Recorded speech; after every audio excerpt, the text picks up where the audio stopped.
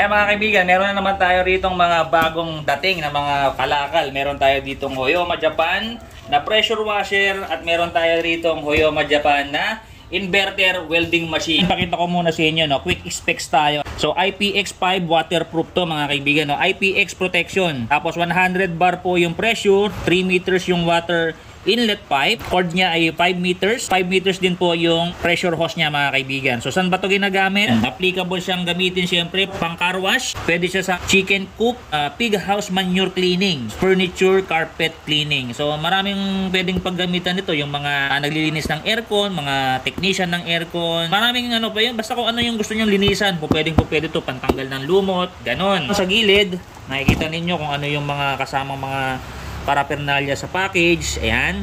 1,200 watts, 220 volts to 240 volts, 50 to 60 hertz, 100 bar. Sa 1 minute, 6.5 liters ang kaya niyang ibuga. So matipid siya mga, kaibigan sa tubig. Nakalagay dito mga kaibigan, self-priming, dual use. Pwede siya direct sa faucet at pwede siyang direct sa timbalang mga kaibigan. So 4,200 lang to mga kaibigan.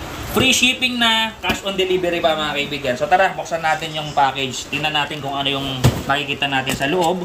Sa mga susunod na video, pakikita ko sa inyo yung uh, function niya mga kaibigan. So pagbukas nyo, ito yung makikita ninyo.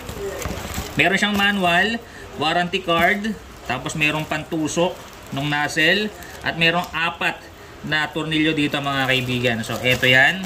Tapos, ang ganda oh, meron siyang karton sa ibabaw. So, ganda ng packaging mga kaibigan. So, eto yung makikita ninyo. Ayan oh. Nakaayos mabuti ha. Ganda ng package oh. Sobrang ganda mga kaibigan. Bunutin natin isa-isa. So meron ditong plastic. Ito siguro malalaman nyo na lang kung paano to gagamitin sa susunod na video mga kaibigan. Foam dispenser, kasama na sa package. Tapos meron tayo rito mga connectors, mga holder. Ayan, so isang plastic na silyado to mga kaibigan. So sa mga susunod na video natin, bubuksan natin to mga kaibigan. Bago natin ipadala sa mga o-order sa atin, titestingin natin at susubukan natin tong mga to. Sunod natin, yan handle. Meron tayo ditong mga connectors pa, may filter, Meron ditong connector para sa inlet hose at saka directly sa gripo mga kaibigan. So kasama na siya. Tapos meron tayo ditong gun. Ayan, nakita nyo naman yung gun. Oh. Sobrang quality. Oh. Ganda ng plastic. Oh. Solid na solid mga kaibigan. So pakita mo. Ayan. Oh.